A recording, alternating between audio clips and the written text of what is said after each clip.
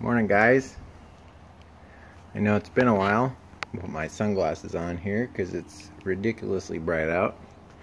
Um, yeah, it's been a what a at least a week since we've had a, a Abel build update video. Uh, haven't been doing much. Got the paint done on it. Did some touch-ups on the wheels with the brush. Been running great. Did one little thing on Friday. See this? Got it painted this morning. See this little cubby? I made a little cubby inside the shelter here. I'll show you.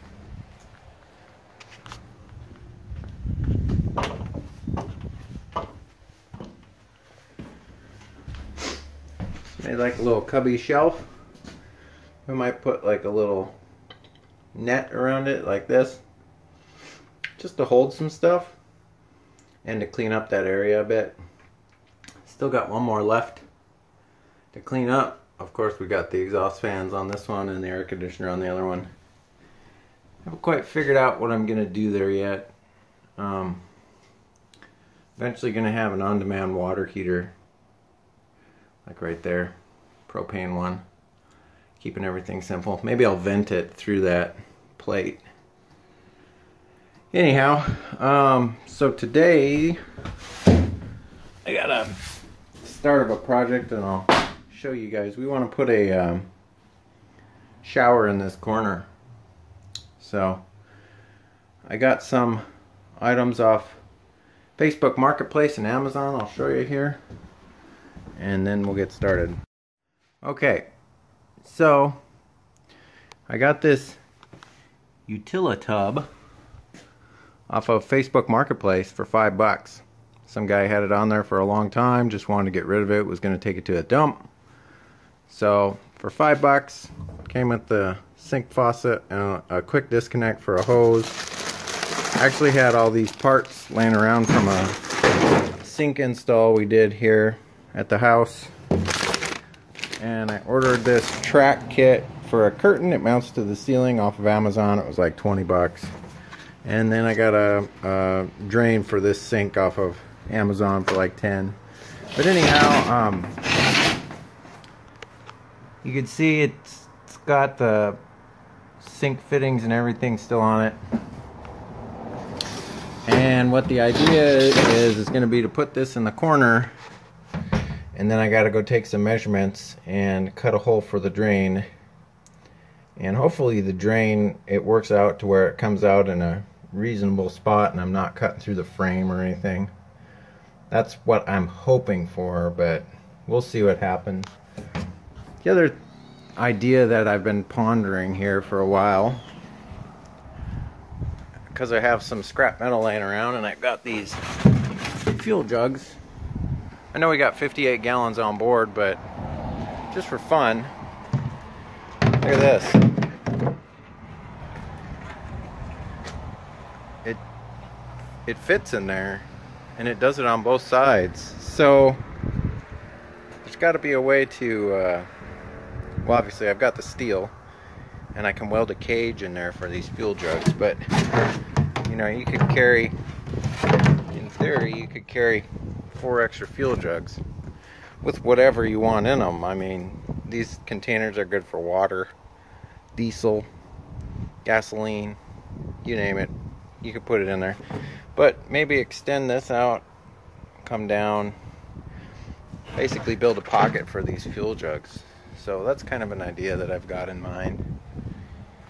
Um, the paint is holding up phenomenally well. Uh, we went out yesterday and I got home and pressure washed everything all of the overspray is off of the uh, tire rubber because of the endurance trick that I showed in the last video. If you haven't seen that, check it out. But yeah, this is turning out really good. The other idea I had is inside here on the communication shelter. This might have wet paint on it still. I did some touch-ups today with the roller. Um, this panel right here behind here on the inside of the shelter, it used to be for uh, electrical. And I would like to take a exterior shower box and mount it right here. That way on uh, hot days that we're up camping, we can shower outdoors and we don't have to shower inside the shelter. And then in the winter, we can shower inside the shelter. So that's another idea I had. That'll be coming up in a uh, future episode. For now, we're going to work on this, uh, getting this drain drilled in and this uh, shower curtain rod hung up. So let's get started on that. Alright guys, this drilling this hole was a lot less eventful than I expected. But here's something neat to look at. The layers of the communication shelter. So it looks like this, if I can point here. This first layer was a thin sheet of aluminum for the flooring, which was covered in like rubber. And then it looks like there's a 3 8 piece of plywood. And then the rest of it is insulation until the bottom aluminum. And then if you get way down there that's the bed of the truck. And then right below that is a steel framing member underneath the truck. I'm gonna go outside uh, outside here and show you guys but it's pretty interesting all the layers that you have to go through to get uh, a drain line out of the comm shelter. I don't know if it's pure luck or anything but lined up exactly with that hole that was already existing in the framing member which is I believe it's unbelievable luck but anyhow I should be able to get a drain line through there and then connect that to uh, a P-trap or a flexible drain hose or whatever we need to do to get that to a gray water tank uh, it's just going to be rinse water we don't have a toilet in here or anything so there's no black water but yeah, that was a lot easier than I thought. Alright guys, got the sink in. It's just temp temporarily installed so I can pick it up and move it if I need to, but once we get all the plumbing done, I'll be able to uh, Sikaflex that uh, bead around the edge here so the water uh, drains more thoroughly into the sink. I got the shower ring up for the curtain. Got a curtain right there. Just got to figure out. I I'm gonna go to Home Depot and try and find some little rings or something to go on these because shower curtain hooks are gonna drop it down to here, which kind of defeats the purpose. But uh, I'll go and see what I can come up with. Maybe I'll test fit the curtain and see if shower curtain hooks will work. But that's probably going to be it for today since I got to go run some errands. So I'll catch you guys next time. See you later. Bye bye. Alright guys, I decided I want to show you a little bit more. I went to the store and picked up uh, just some 97 cent shower hooks and show you how it works here. Open that up, spin that around, and then keep the bottom of it in the sink just like that and it's more than enough for a camping shower. I think it's uh, pretty substantial so that worked out really good. I'm pleased with how that turned out. Those hooks, by the way, were a dollar, 97 cents.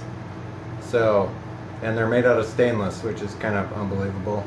But about a second pack of them in case they break or whatever.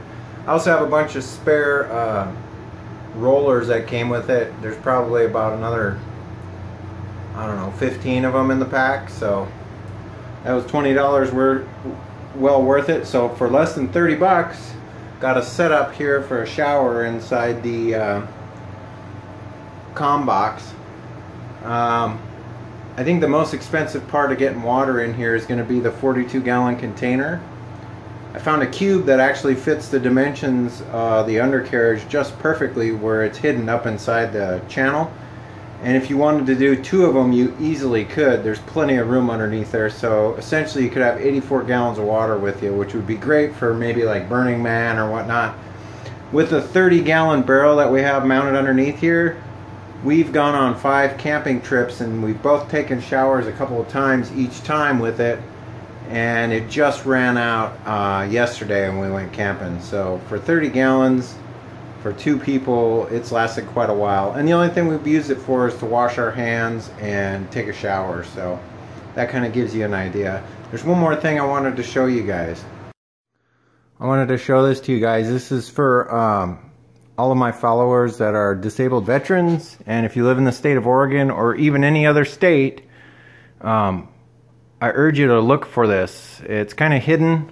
Most people don't know about it, but uh, for the state of Oregon, if you're a disabled veteran, uh, that's anywhere from 0% all the way to 100%. You can apply for a Oregon State Parks Special Access Pass, which allows you to stay at RV sites for 10 days out of 30 per month at no cost to you. Um, it's pretty awesome. There's a few guidelines. I mean, you can read through them here if you want to pause it. I'll uh, keep the camera centered here for a moment. But um, I urge you guys to do this. I didn't even know about this, and somebody else told me about it. So there are a few stipulations. You got to send in a form that uh, from the VA that shows your disability rating. It doesn't have to say what it's for. It just has to say that you are, in fact, a disabled veteran. Um, I actually mailed this in on Monday and uh, got it yesterday in the mail on Saturday. So it says three to six weeks processing, but they got it to me right away. So, anyways, I thought I'd share this with you guys. This also uh, works well for um, day use areas and whatnot. Um, they know about it at these uh, parks that we go to. So, anyhow, it helps us out a little bit, but we don't normally stay at RV sites, which would be really helpful if you wanted to plug into uh, shore power um, that would be great and uh, access to water and facilities and whatnot. But other than that, uh, I think I'm going to end the episode here. I hope you guys got something out of this episode. If you liked it, please hit like, subscribe, share it with your friends, share it on your Facebook page, spread it around social media. I'll uh, try to upload some more videos here, the LMTV build. Um, some of the bigger things are coming up, the more expensive things. Uh, I don't know if I'm going to get to all of them. I know I got to get solar done, uh, getting the water hooked up, and the water heater and all that stuff ran will be costly. Um, there's kind of no way around that. But other than that, um, hope to catch you guys next time. We'll see you later. Bye bye.